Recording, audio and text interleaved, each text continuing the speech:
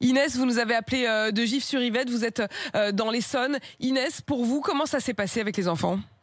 Alors moi, j'ai pas de problème de bug puisque j'ai une enfant maternelle. Oui, Mais en revanche, j'ai le programme parce que sa maîtresse a bien fait un programme euh, chaque jour. oui. Euh, mais hier, j'ai rien fait. Hier, vous n'avez rien fait, vous n'aviez pas la force. Non, mais c'est surtout que je travaille aussi. Donc, Ouais, bah, il faut alterner. Et euh, je voudrais préciser quelque chose, Pauline. Oui, C'est qu'on parle beaucoup du temps scolaire, c'est qu'une semaine en tout cas pour euh, maternelle et élémentaire. oui, Mais il ne faut pas oublier qu'il y a aussi les centres de loisirs qui prenaient le relais pendant bien les sûr, vacances. bien sûr. et qui sont fermés.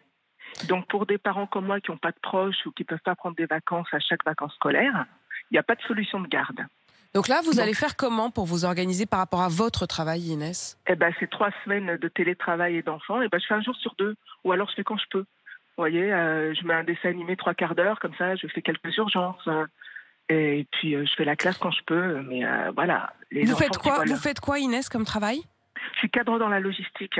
Donc c'est compatible la- avec le télétravail pour Oui, le coup? S'il n'y avait pas l'enfant à gérer, je veux dire, s'il n'y avait pas l'enfant à gérer, vous pouvez travailler à la maison. Ben, ça fait un an que je suis en télétravail. Voilà. Le problème, c'est évidemment la présence de l'enfant. Comment est-ce qu'on fait Voilà. pour gérer les deux? Absolument. Elle a quel âge, votre fille? Elle a trois ans et demi. Trois ans et demi, oui. Donc, Donc euh, en fait, d'être avec sa mère toute la journée, vous voyez, c'est pas c'est pas l'école, c'est les vacances. Euh, Je Mm. sollicite beaucoup. Et elle ne comprend sûrement pas que vous soyez physiquement présente sans vous occuper d'elle. Absolument, ça marche pas. Elle peut pas, elle peut pas se dire euh, ah ben t'es là mais tu travailles. Non non, faut être avec moi. Euh, vous, vous utilisez, vous le disiez, un peu la télévision. J'avoue que dans ces moments-là, heureusement qu'il y a ça quand même. Bah, Alors je me suis mise aux écrans euh, depuis euh, le dernier confinement. Vous avez, vous avez posé aussi euh, donc des arrêts de travail, c'est-à-dire que quand vous dites je fais un jour sur deux avec l'enfant, est-ce que malgré tout vous êtes tous les jours censé être en télétravail ou est-ce que vous posez aussi des jours off?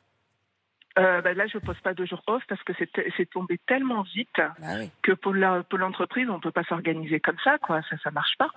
Ouais, on est Ça de. déstabilise tout. Et votre votre employeur est compréhensif? Il est hyper compréhensif. C'est ma chance. hein. C'est que j'ai un employeur hyper compréhensif qui me dit ben on fait ce qu'on peut. Tout va ça va tourner au ralenti, mais on fait ce qu'on peut. Oui, ils sont conscients.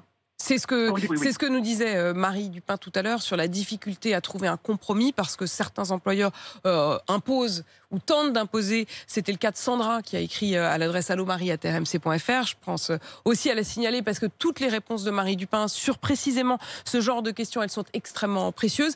Et Sandra qui disait, ben moi, ce qui est difficile, c'est que mon employeur m'impose de prendre des jours de congé. Or, euh, non, euh, il n'y a pas d'obligation. Normalement, il peut y avoir aussi la solution euh, du chômage partiel. Mais vous, Inès, vous tentez de concilier les, les deux et c'est très courageux.